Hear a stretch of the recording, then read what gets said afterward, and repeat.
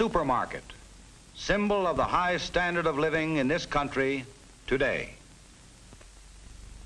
These products come from farms and ranches despite distance and season. They are the result of a miraculous agriculture. Tremendous advances on the farm and in the marketing system have created this miracle. The miracle whereby American agriculture has advanced more in the space of a single lifetime than world agriculture had in more than 7,000 years.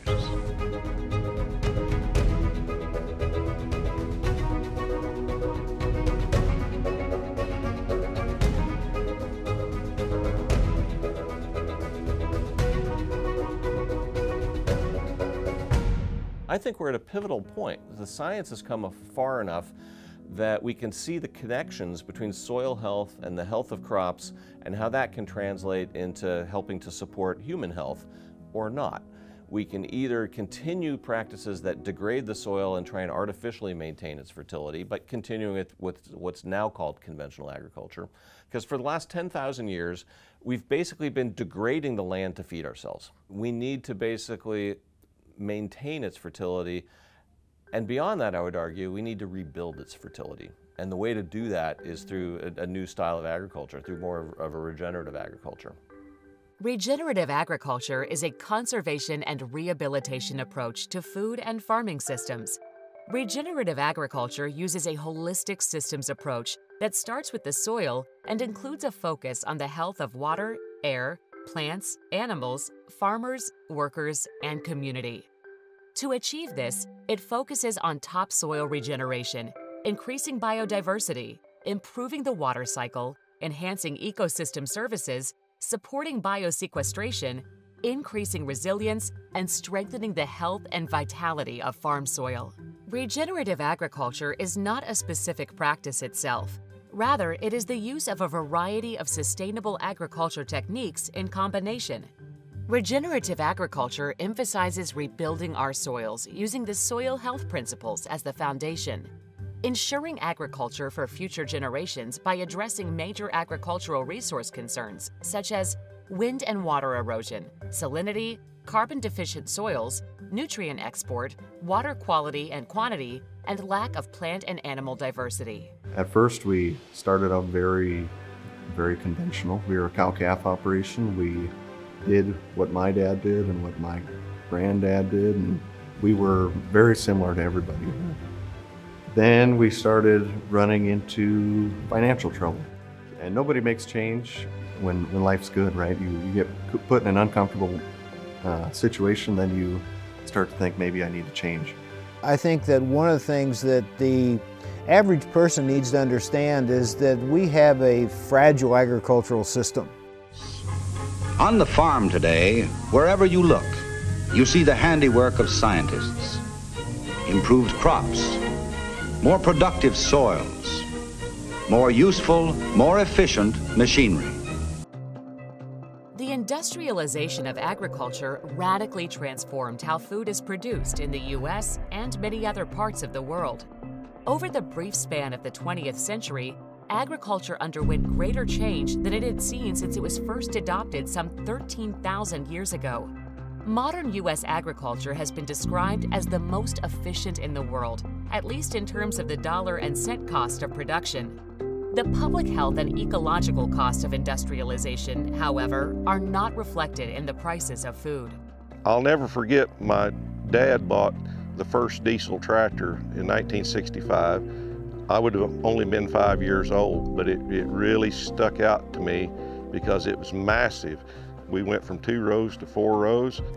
Here's kind of the interesting statistic is that from now until 2050, you know, we have to produce almost as much food as we produced in the first 1500 years of cultivated agriculture. And it had these big boxes on it that, that weren't seed boxes.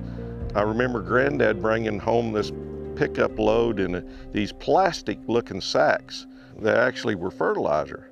And we'd never used fertilizer that I know of before that. That's going to be against a backdrop and that backdrop is that we have this changing climate. We're going to have less soil resources.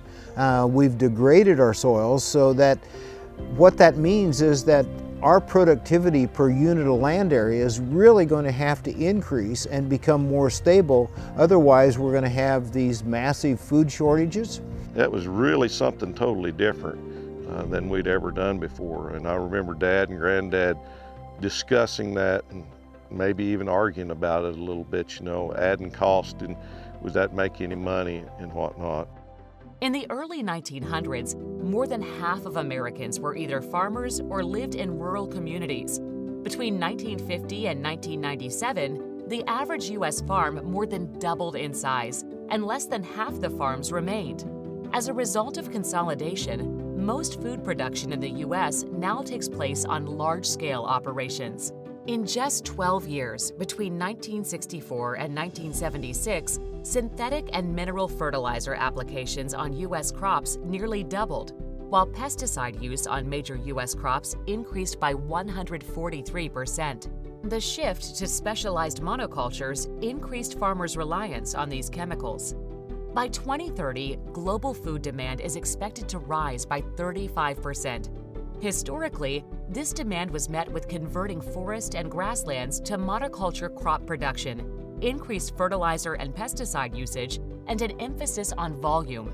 The future of food is designed to empower people to feed themselves, including diverse cropping systems and grazing systems utilizing cover crops, increased produce production both indoors and outdoors, direct marketing to consumers, stacking enterprises with a diversity of livestock, reductions in food waste, and nutrient density awareness. Back in those days, you know, almost everybody was a farmer growing the food that they needed to eat and their family needed to eat. Whereas today we're down to one or two percent of the population is feeding the rest of us as farmers. We now eat a much less diverse diet that is uh, that has fewer phytochemicals, fewer mineral micronutrients, less fiber, and more calories. And so the, the basic mix of the human diet shifted in the 20th century. And we're now learning enough about the impacts of those changes on the health of the land, on soil health, and also on human health in terms of the, the rise of chronic diseases and the reduction in the nutrient density of our food, that it's you know, we're starting to take a new look at um, the history of agriculture and the future of agriculture and the future of food through the lens of how we treat the soil affecting how the land in turn can treat us through what we harvest. Soil health is defined as the continued capacity of soil to function as a vital living ecosystem that sustains plants, animals, and humans. Healthy soil gives us clean air and water, bountiful crops and forests, productive grazing lands, diverse wildlife, and beautiful landscapes. Soil does all this by performing five essential functions, which are referred to as the five soil health principles. Soil armor. Soil cover is provided by dead plant litter and green plants, providing numerous soil benefits. These benefits will help to control wind and water erosion, reduce soil evaporation rates, and help soil maintain a moderate temperature range. This armor is also crucial in providing a habitat for the soil's surface dwellers, which will feed into the soil's food web and impact soil health. Minimizing soil disturbance. The diversity and productivity of living things depends on soil, and too much disturbance can impact the health of the soil. A biological disturbance, such as overgrazing, severely limits the ability of plants to harvest CO2 and sunlight. Chemical disturbance occurs when there is an over-application of nutrient and pesticide, which can disrupt the soil food web functions. A physical disturbance occurs with tillage, which over time reduces and removes pores in the soil, destroying the biological glue holding the soil together, which results in wind and water erosion. Plant diversity. Before the advent of modern agriculture, the journals of Lewis and Clark described the landscape as an ecosystem, where numerous species were observed coming together to provide forage for large herbivore populations. Today, we can mimic this more natural system by implementing a diverse crop rotation, providing more biodiversity, which fuels the soil food web. This, in turn, improves rainfall infiltration and nutrient cycling, while reducing disease and pests. Diverse crop rotations mimic our original prairie and forest landscapes. Continual live plant root. Our cropland systems typically grow cool or warm season annual crops, which have a dormant period before planting and after harvest. Cover crops are able to fill in the dormant period and provide the missing live root exudate, which is the primary food source for the soil food web. Livestock integration. Animals, plants, and soils have played a synergistic role together over geological time. Grazing livestock on your landscape can have added benefits. In lieu of transporting feed, we can reverse the roles and have the livestock graze the material in place, reducing nutrient export from our cropland and hayland fields. In addition, grazing reduces livestock waste associated with confinement, helping manage our water quality and nutrient management concerns. Using this holistic and multi-step approach to soil health allows farmers to grow and produce food in harmony with nature instead of in opposition to it. My background is in working to create a reality where our food has more nutrition in it. And so I started studying, going to conferences, reading books, attending seminars in the wintertime and then practicing different techniques in the, in the summertime. It all started for me with a steak I ate in um, on a beach in Chile. And this was a steak that literally changed my life. It was so delicious that I asked what I thought was a pretty simple question, which was why does this steak taste so good? And that led to a book. It turned out it didn't have such a simple answer. Really, the initial focus was working with growers to help them understand that only when their plants are in healthy relationship with microbiome, with the with the microbes in the soil and on their leaf surface, only when that's occurring should we expect those plants to be healthy, to be able to be you know, pest and disease resistant, etc. The act of tasting food engages more gray matter than any other activity, more than sex, more than laughing, more than doing solving a math problem.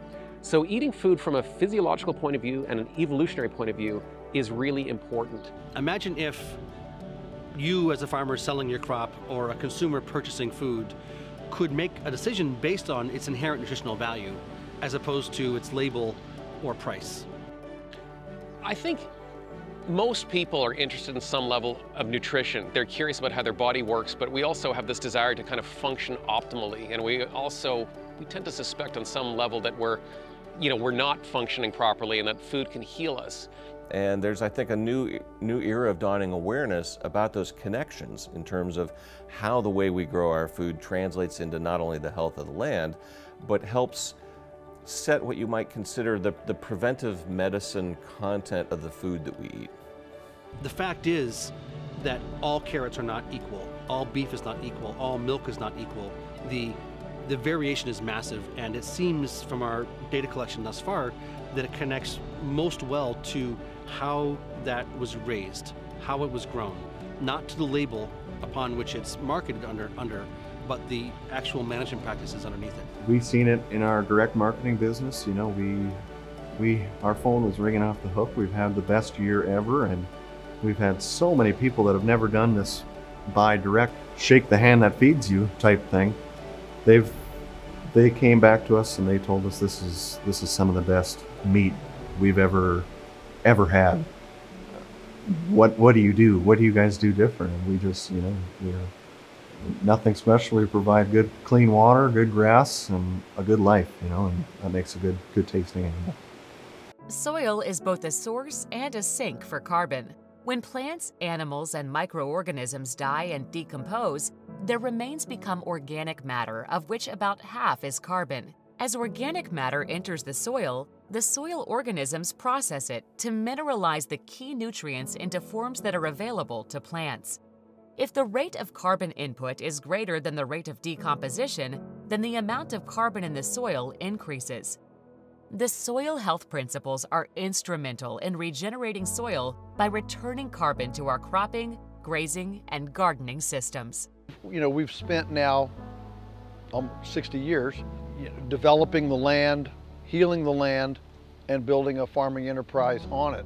Carbon, whether it's trees or grass or whatever, uh, carbon grows on site. It either gets eaten and pooped or it, it, it falls over and decays. But the point is, nature doesn't import fertility from out far away. It, it, it, it runs um, uh, in, internally almost.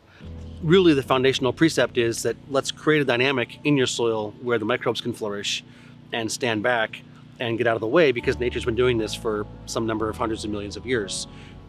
Today, you know, we've, we've moved the organic matter from 1% to 8%, and we've moved the fertility roughly to, to 10 times you know, what it was at, at that time. And um, we've added a lot of species. So now we have, you know, beef, pork, chicken, lamb, turkey, duck eggs, rabbit, and we direct market everything to about 8,000 families, you know, a couple dozen restaurants, and we ship nationwide. And we have a farm store, and the farm supplies about 25 salaries. So it's not a backyard operation. And then about 10 years ago, I started hearing about cover crops. You know, some of these meetings started poking up and it's like, oh my gosh. You know, my light bulb, instead of just going on, it just kind of exploded. There's a path forward that is, is, is not only feasible, it's attractive. It can result in more profitable farms. If you spend less on agrochemicals and you spend less on diesel, but you harvest just as much, you're going to be a more profitable farmer.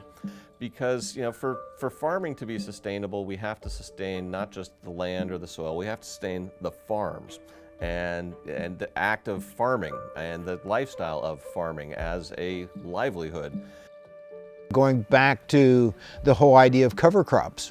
You know, that cover crop at the beginning of the, the growing season and the end of the growing season just expands our capacity to, to take CO2 out of the air and put it into the soil that, that's beneficial things.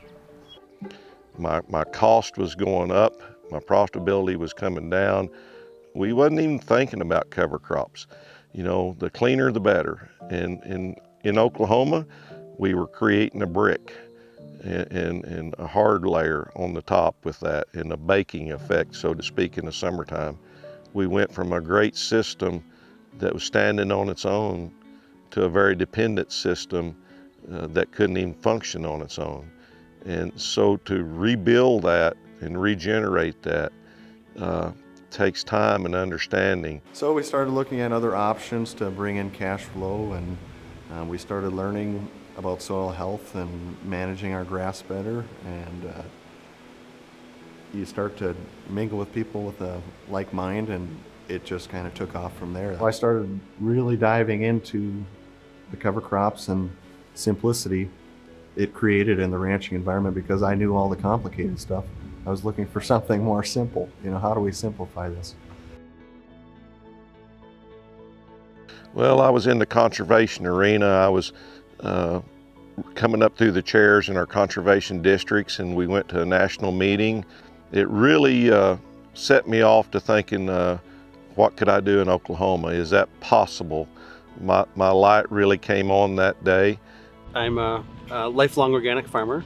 Grew up on an organic farm in Massachusetts. Uh, and when you are working in harmony with nature, not only is the soil healthier and the crops more, you know, crops healthier, but the food is more flavorful and, and more nutritious. We started measuring the infiltration rates. We started looking at our soils differently and, and uh, how light they were, lack of carbon and why. Really started learning what we had done and didn't even realize we had done to our soil by farming the carbon out and, and really degrading it. I think that, that we have the capacity in agriculture, just like we do all of the other aspects of what we live in, is to take advantage of uh, an opportunity of, of technology and information and put it together that, that will do this. And I'm, I'm optimistic that uh, agriculture has a, has a bright future. Uh, it has a bright future because everybody wants to eat. We just got to figure out how to get there.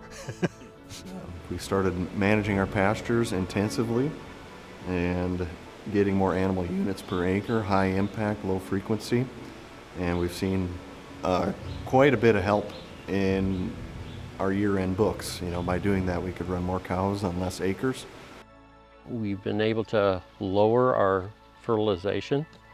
Uh, we backed away from fungicides and insecticides. We, we don't have to do that anymore. We have a really healthy, robust crop. But the proof is in the pudding in, in the field, what you can do when you start storing carbon. Your aggregation starts growing, your microbiology starts growing. Uh, I tell everybody your system starts clicking like it was supposed to. And we had lost that. But I think we lost it so slow and so gradual that we didn't even know it went away. It's kind of a salvation because everything comes together. um, you can eat well, you can be healthy, and you can enjoy life and enjoy food as it ought to be enjoyed. Our thought is choosing the food that's best for you and your family is a profoundly radical act that can bring about the kind of cultural revitalization that we're probably all hoping for. Uh, I believe that we can rebuild the soil because once you see it, it's, it's something that you can't get out of your mind. That change, that transformation uh, from dead to alive. And, and that's really touches me. I'm having fun at doing it and seeing the results out there, seeing the life in the soil, seeing the healthy plants. Because I want healthy plants, healthy soil, correlates on down the line to healthy food and healthy people. So that's what I see and uh, that's what keeps me going in this. You know, I've been at it 41 years of farming. I wish I had another 41 to go.